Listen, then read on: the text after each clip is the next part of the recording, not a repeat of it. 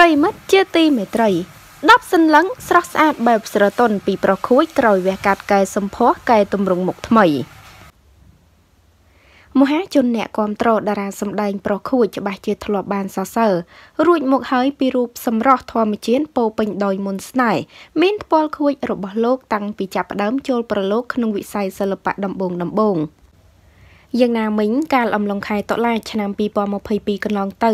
មហាជនក៏ហាក់មានការភ្ញាក់ផ្អើលណាស់ក្រោយពីបានឃើញលោកទៅវះកាត់កែសម្ផស្សកែកុនទម្រង់មុខថ្មី ច្រមុះមាត់បើទោះបីជា សម្រស់ធម្មជាតិរបស់លោកស្រស់ស្អាតទៅហើយនោះជាក់ស្ដែងក្រោយពីវះកែគុណចំណុចខ្លះលើទម្រង់មុខប្រខួយក៏ធ្លាប់បានបង្ហាញរូបភាព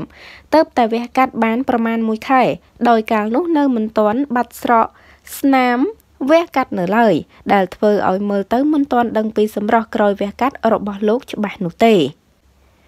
តើប្រមាណ73ខែក្រោយវះកាន់តារាប្រុសរូបនេះក៏បានបង្ហោះរូបភាពថ្មីថ្មីជាបន្តបន្ទាប់ធ្វើឲ្យមហាជនចាប់ផ្ដើមចាប់អារម្មណ៍នឹងផ្ទៃមុខដ៏ស្រស់សង្ហារបស់លោកសាជាថ្មី ដែលមើលទៅពិតជាស្រស់ស្អាតសង្ហាប្លែកពីសម្រស់ធម្មជាតិពីមុនណាស់ដោយទម្រង់មុខរបស់លោកពេលដែលកាយកុនរួចហាក់បីដូចជាជនជាតិបរទេស បែកខាងអឺរ៉ុបទៅវិញកាន់តែធ្វើឲ្យនារីនារីជាច្រើនលួចក្រាស់ផងដែរចាប្រុសខួចដែលជាតារាសម្ដែងប្រុសដ៏សង្ហា កាលពីមិនទាន់កែតម្រង់មុខគឺមុខរបស់គាត់ស្រស់ស្អាតបែបអាស៊ីគឺថ្ពាល់ខួចស្រស់ស្អាតមែនតើប៉ុន្តែបន្ទាប់ពីកែកុនតម្រង់មុខនៅចំណុចមួយចំនួនហើយនោះគឺប្រែប្លែកខ្លាំងមែនទែនគឺคล้ายទៅជាបុរសសង្ហាបែបបែកអឺរ៉ុបវិញម្ដង តើប្រិយមិត្តយល់បែបនេះដែរឬទេ